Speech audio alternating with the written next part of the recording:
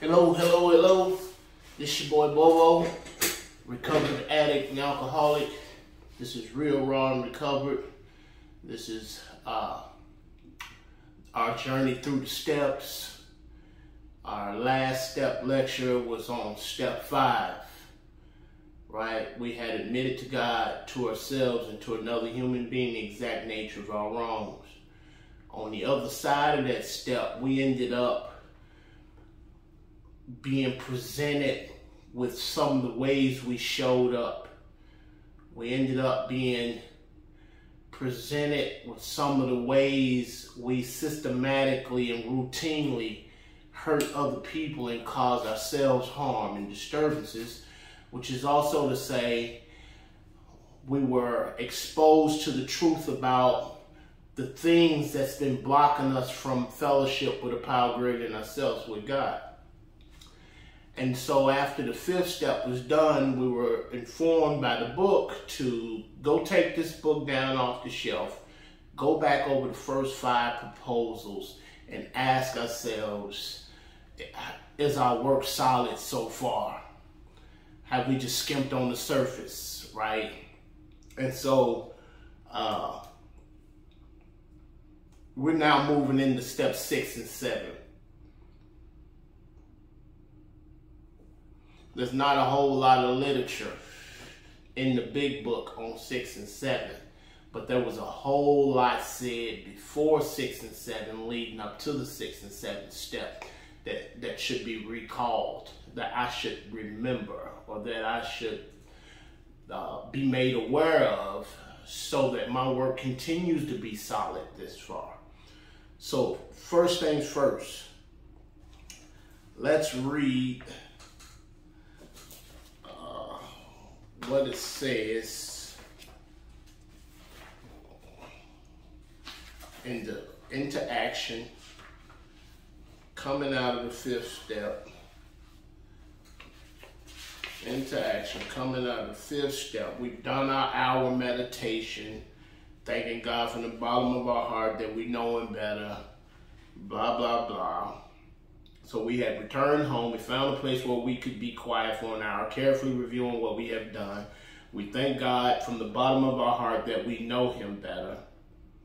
Taking this book down from our shelves, we turn to the page which contains the 12 steps, carefully reading the first five proposals. We ask if we have omitted anything, for we are building an ark through which we shall walk a free man at last. Is our work solid so far? Are the stones properly in place? Have we skimped on the cement put into the foundation? Have we tried to make mortar without sand? if we can answer to our satisfaction about this review of the first five proposals, we then look at step six, we have emphasized willingness as being indispensable. Are we now ready to let God remove from us all things which we have admitted are objectionable? Are we now willing, are we now ready to let God remove? Is the point. Can He now take them all, every one?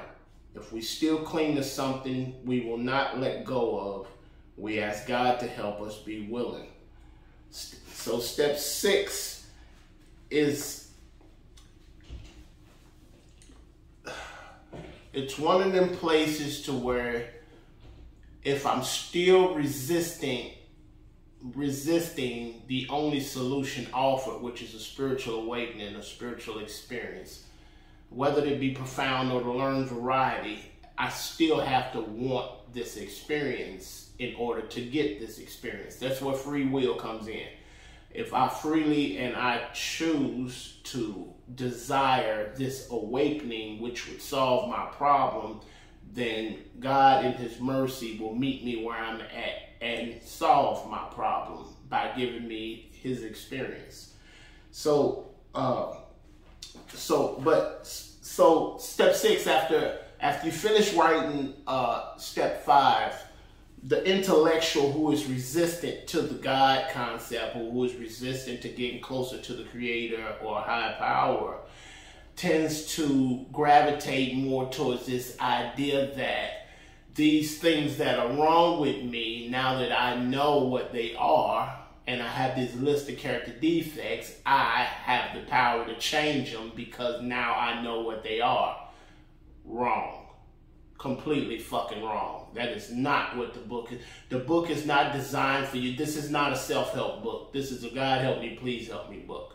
The program of action, the whole purpose of the book is to get you in touch with the power greater yourself that will solve your problem. This is not about you, yourself, independently, by your own self propulsion coming up with some kind of personal ability to fix yourself. That, that, that doesn't work.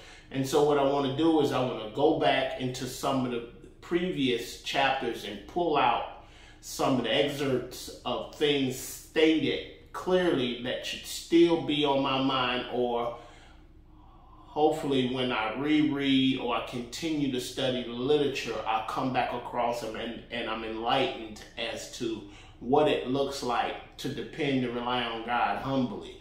Because this is what I'm supposed to be learning. I'm supposed to be learning how to cooperate with a power greater than myself. So I do have uh, a responsibility to put up a resistance. I do have a responsibility to personally desire his help. I do have a responsibility to get completely honest, open, and willing to do the work in hopes of getting in touch with Power Greater myself. But I don't just have the power myself because I'm made aware of anything. So we'll go back to first page I want to turn to. We're working step six and seven. So first page I want to turn to is page uh, 62.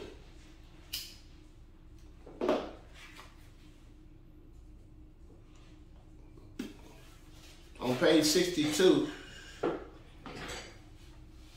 So we went back over the first five proposals, right? The first proposal was step one.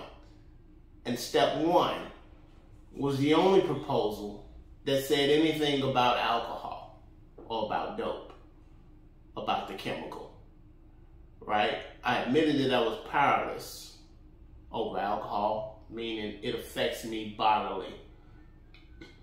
And when I put it in my system, I have an allergy that makes me have a phenomenon of craving and want it and pursue it beyond what I intended before I put it in my system. And that my life had become unmanageable. It centers in the mind rather than in the body. So even when I don't have it in my body, the majority of the problem is in my mind. So without the chemical, my mind still longs for the sense of ease and comfort that comes at once. I'm confirmed to be a real alcoholic and addict, not because of the collection of consequences, but because when I honestly want to, I find I can't give it up entirely. Or if when drinking or using, I have very little control over the amount I take. Cut and dry. That makes me alcoholic. And if that be the case, I'm suffering from an illness which only a spiritual experience can conquer. So on page 62, after going through step one, after reading uh, We Agnostic, when I get to how it works, it's not until uh, page 62 uh, that I finally get told what the problem is. The problem on page 62 is selfishness and self-centeredness. That we think is the root of our trouble. Driven by a hundred forms of fear, self-delusion, self-seeking, and self-pity, we step on the toes of our fellows and they retaliate. Sometimes they hurt us, seemingly without provocation, but we invariably find that at some time in the past we have made decisions based on self which later placed us in a position to be hurt. So our troubles, we think, are basically of our own making. They arise out of ourselves, and the alcoholic is an extreme example of self-will run riot, though he usually doesn't think so. Above everything, above everything, we alcoholics must be rid of this selfishness. We must, or it kills us. God makes that possible and there often seems no way of entirely getting rid of self without his aid. There often seems no way of entirely getting rid of self without his aid. So you got this list of character defects, shortcomings, the ways you show up, your little cycle, your little how you do your thing, how you step on the toes of your fellows. You got this list now, and they're just definitive definitions, clarity about how you show up. And there often seems no way of entirely getting rid of this self without his aid. So step six didn't say now that you know what's wrong with you, fix it. You can't fucking fix it. You don't have it in you to fix it. I don't have it in it uh, in me to fix it. Not my responsibility, yes, is to put up a resistance to continue to behave like this. And yes, it is to honestly admit it to God, to myself, and another human being, the exact nature of my wrongs.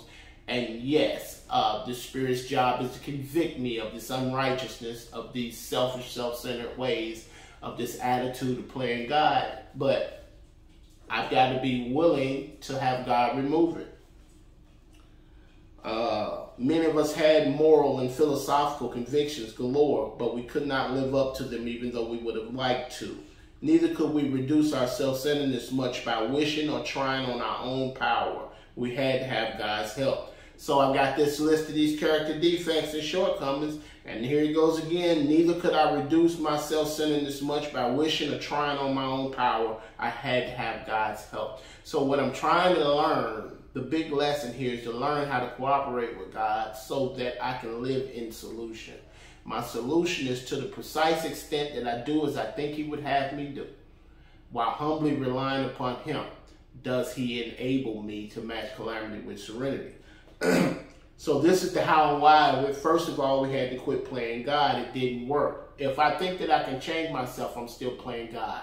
It's the arrogance and the pride of life right there, thinking that my willpower is all powerful. My willpower is not powerful enough to make me acceptable to God, to make what I do pleasing to God, and to make what I do useful to man that would make me all powerful. And so the element of dependence, reliance on God is what I'm trying to learn. And this will be another measure of growing in humility coming into step six and seven.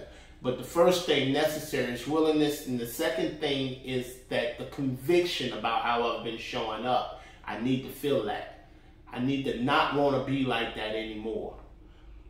I said, this is the how and why. But first of all, we had to quit playing God. It didn't work. Next, we decided that hereafter in this drama life, God was going to be the director. He is the principal. We are his agents. He is the father, and we are his children. Most good ideas are simple, and this concept was the keystone of the new and triumphant arch through which we pass to freedom. So to stop playing God, it doesn't work, and to uh, allow God or acknowledge that God is the authority over my life is the new and triumphant arch to which I pass to freedom. So then, so I'm working it back from the introduction to self being the problem. Now I'm going back to God and his power being the only solution. So I'm backing up now to step uh, two. So on page 44, at the very bottom of page 44, it's, it's, it's giving me a heads up of my inability to start the trip through the work. See, the doctor says that this is repeated over and over, and unless this person can experience an entire psychic change, there's very little hope of his recovery. So starting dope to use dope and stopping using dope. Starting to drink and stopping drinking. Stopping doesn't make me be in recovery. And starting doesn't make me be in relapse. If in fact I've never had a spiritual experience, I never had a psychic change, I never had my problem solved, I'm not relapsing. I'm just making a fucking lap. Because it's what dope fiends and alcoholics do. We swear off, uh, and they're later is a still greater relapse. Uh, uh, we take solemn oaths and then we use again. Uh, we move geographical cures and then we use again. So on the bottom of page 44, it's going to bring to, to light all of these self-propulsed, self-propelled these self-efforts because I have a very clear idea personally of what right and wrong is, and I've always been aware of the right way versus the wrong way. But that in itself was an arrogance that does not include dependence, reliance, and trust in God humbly. It's it's a matter of independence, and I need I need to get this done for me, uh, and it doesn't work like that. So say if a mere code of morals or better philosophy of life were sufficient to overcome alcoholism, many of us would have recovered long ago. But we found that such codes and philosophies did not save us no matter how much we tried. We could wish to be moral. We could wish to be philosophically comforted. In fact, we could will these things with all our might, but the needed power wasn't there. Our human resources, as marshaled by the will, were not sufficient. They failed utterly. So you can try your ass off on your own power to be a better person, and you fucking won't be. You will not be pleasing to God and useful to man by self-propulsion. Self is the damn problem, and self continues to be the damn problem. Lack of power, that was my dilemma. I had to find a power by which I could live, and it had to be a power greater than myself. And it says, that's exactly what this book is about. Its main object is enable me to find the power greater than myself, which will solve my problem. So, going back over here to, to step six, right? Let's get back over here. Into action.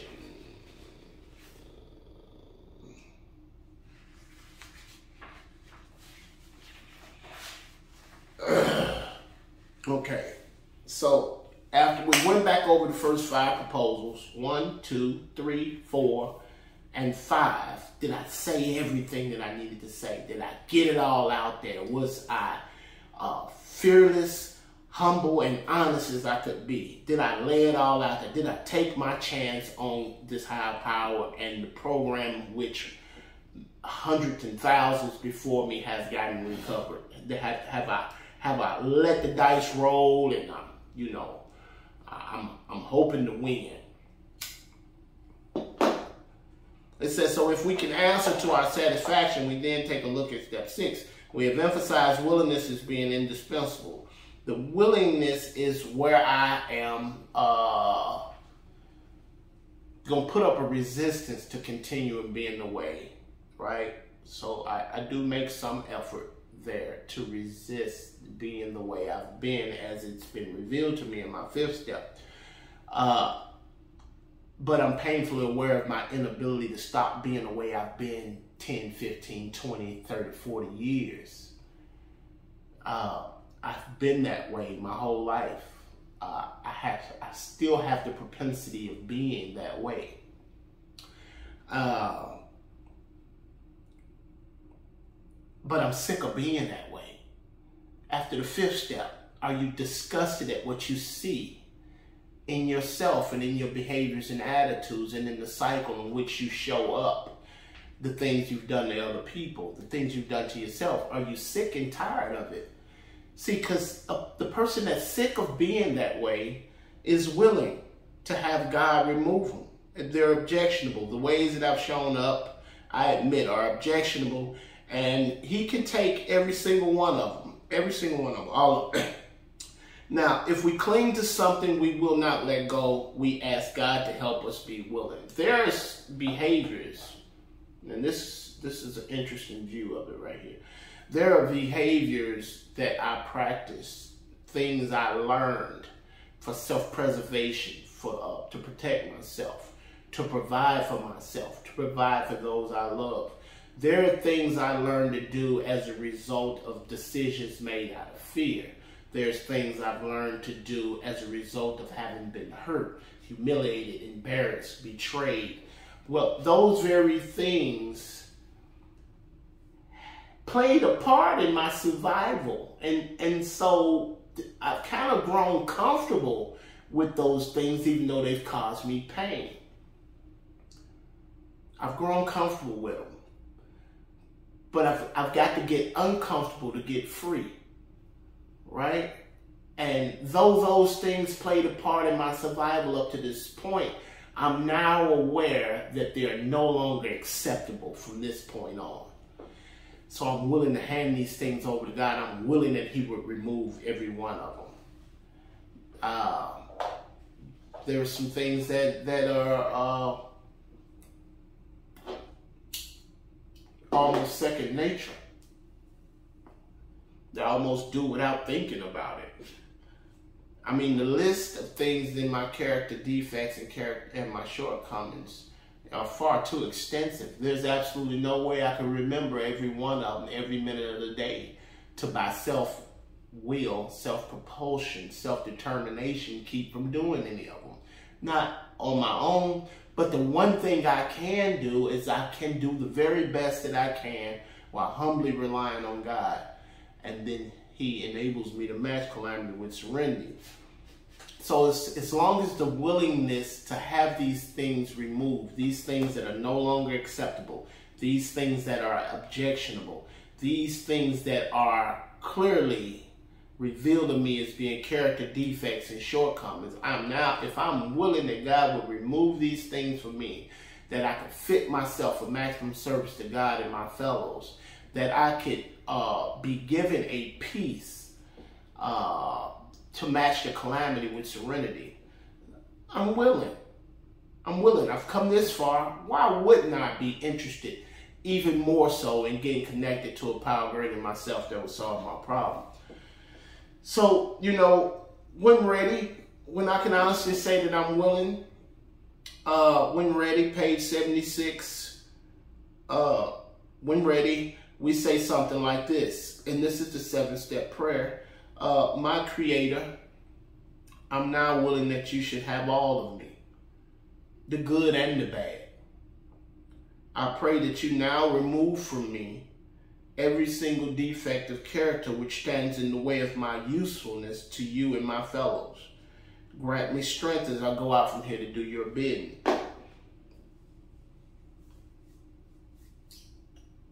The, the thing that we tend to do at this step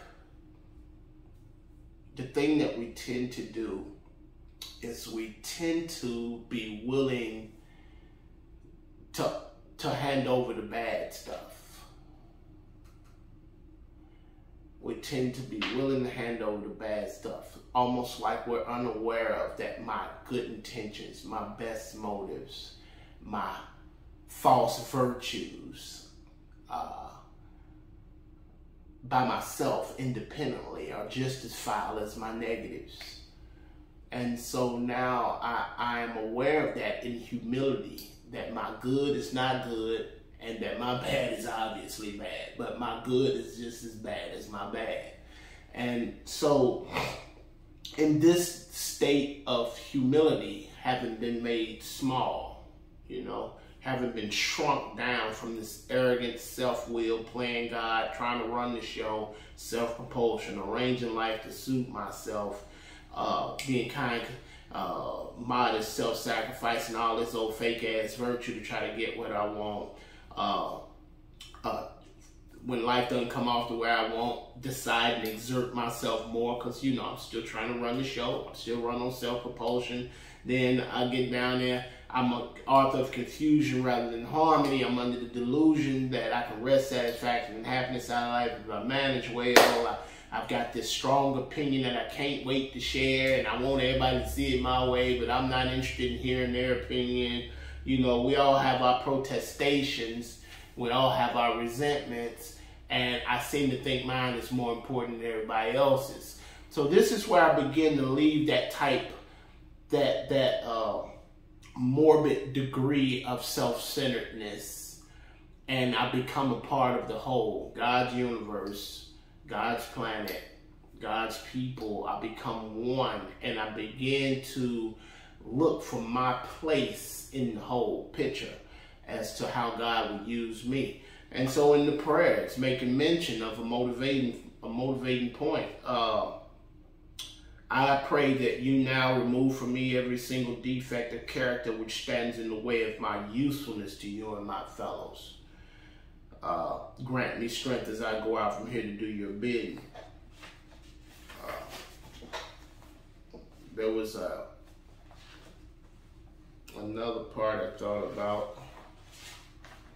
Uh,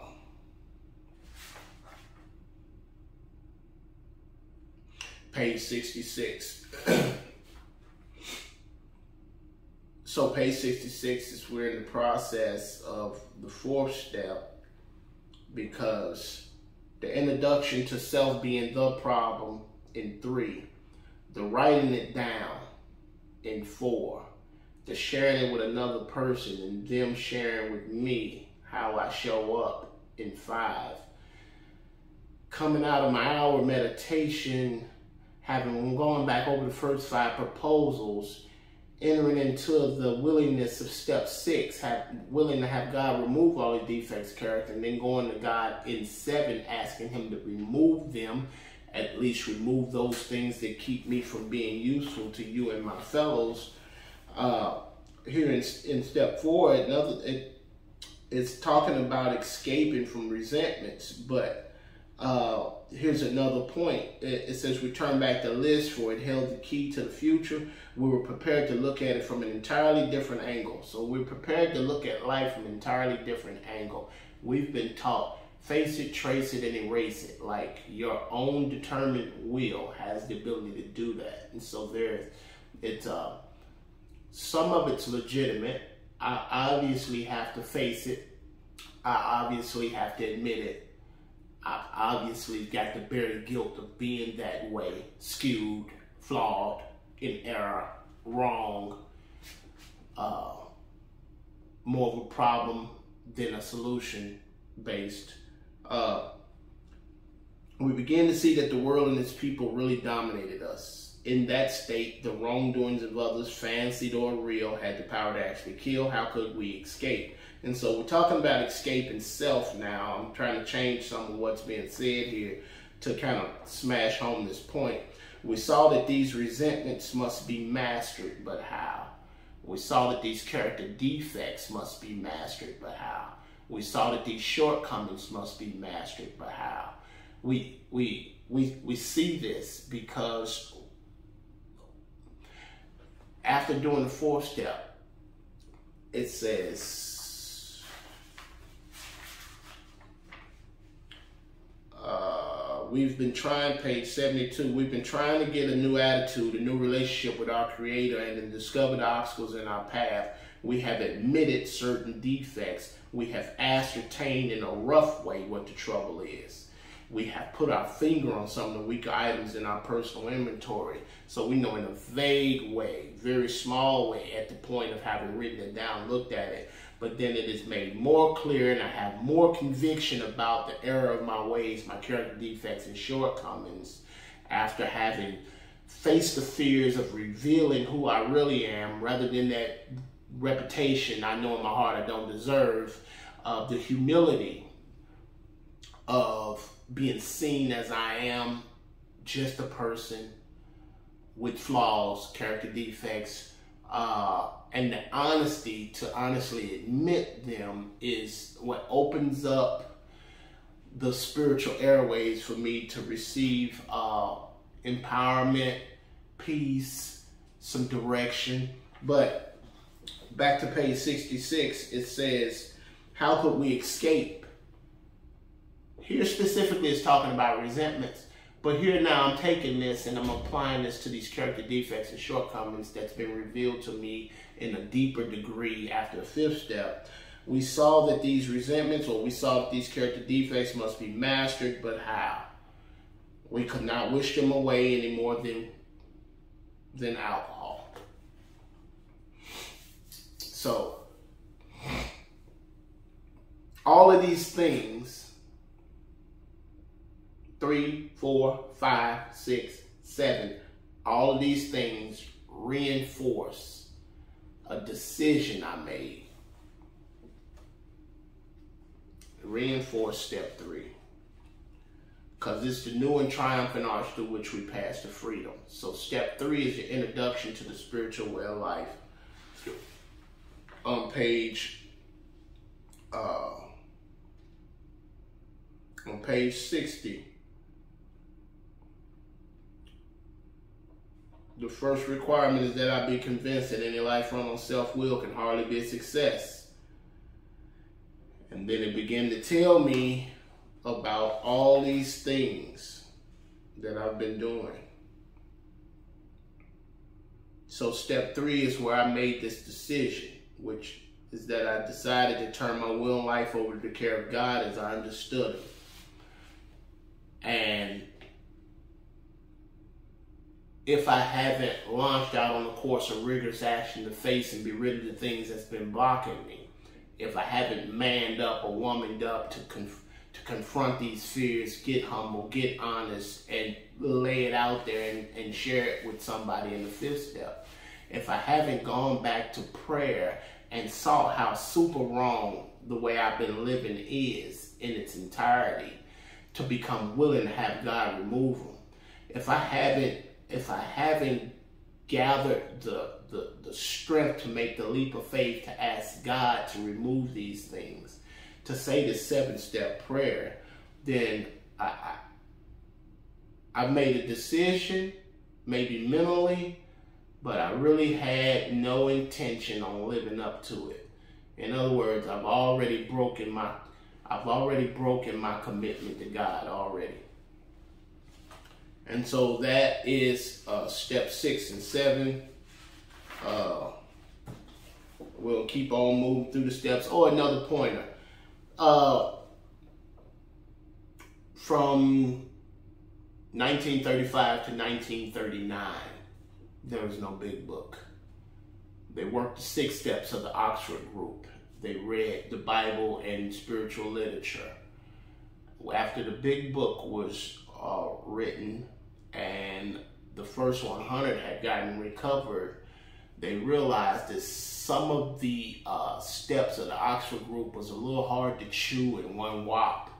And so they dumbed it down because my dumb ass needed dumbed down and uh, extended them to smaller steps to with the hopes of getting the same outcome. So a six, six step program turned into a 12 step program.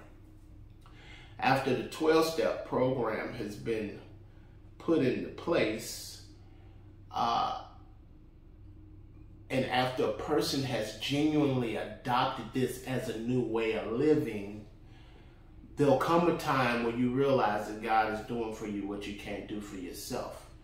But uh, but now we need more action, without which we find that faith without works is dead. And so now we're going to look at steps eight and nine.